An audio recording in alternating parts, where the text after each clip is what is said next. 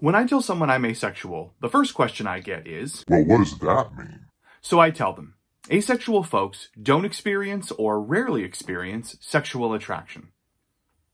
There's a moment, they think about it a little, and the next question is, Well, what does that mean? asexuality can be confusing. It's confusing for non-ace folks, it's confusing for ace folks. It can be confusing because sex and attraction are hard to pin down. But we're going to give it a shot on Ace Camp.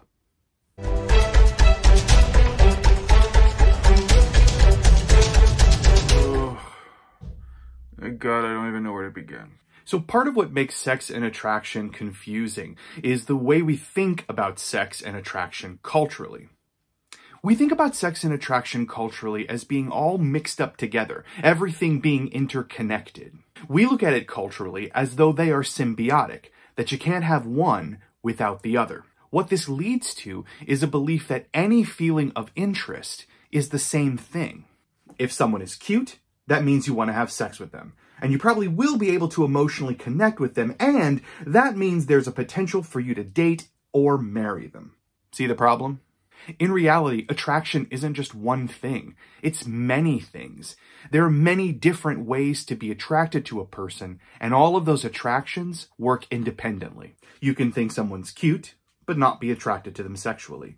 You can want to have sex with someone, but have no romantic interest in them at all. You can have deep romantic feelings about someone, but not be sexually attracted to them. This big picture cultural misconception is what makes asexuality so confusing to some people. When we say, I don't experience sexual attraction, what they hear is, I'm not attracted to anything ever for all of time. And that's just not true. Asexual folks don't experience one kind of attraction. That's it. We can and often do experience plenty of the others. So let's go a little deeper. What is sexual attraction anyway? Look, I'm asexual. I don't know what sexual attraction feels like. I've never felt it. Or to put it another way, sexual attraction is that innate feeling of finding a person sexually appealing in a way that makes you want to have sex with them. The key part here is innate. It's not something you choose. It's something that you're built with. Think of it like your factory settings. And those factory settings, when it comes to sexual attraction, determine your sexual orientation. So heterosexual, homosexual, pansexual, bisexual, all of the sexual orientations. For asexual people, because that's my people, that innate feeling doesn't exist, or it only exists sometimes under certain conditions. So what for allosexual people, that's people who do experience sexual attraction, is an everyday feeling, for asexual people, it's completely foreign. Now, this is not to say that asexual people never have sex. Some asexual people do. Some have a lot of it.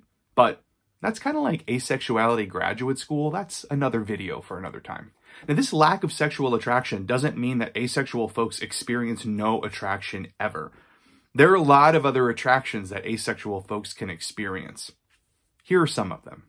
Asexual folks can experience romantic attraction, the innate feeling of finding a person romantically appealing and wanting to experience romance with them. Aesthetic attraction, finding the way someone looks or the way they present themselves appealing. Emotional attraction, the desire to get to know someone for their personality or their spirit. Sensual attraction, a desire to engage in non-sexual physical touch with someone. And plenty of others. For an asexual person, all of these attractions are possible without experienced sexual attraction. So asexual people can have fulfilling romantic relationships. They can enjoy cuddling and holding and touching. They can enjoy deep emotional connections with someone. All of those things are possible. Ace folks can experience the full range of human connection outside of sex. So, what have we learned? There is more than one kind of attraction. Different attractions work independently of each other. Sexual attraction is innate. It's like your factory settings. Asexual folks can experience all of the other kinds of attractions without experiencing sexual attraction. Well, there you go. That's Ace Camp on sexual attraction, and you aced it. Oh, God. I'm sorry. You're never going to get rid of the dad jokes here. Sorry, not sorry. Hey, thanks for supporting the channel. Happy that you are here. Make sure you like, subscribe, click the bell, do all the things one does on YouTube so that I can see you back here at the next video. See you then.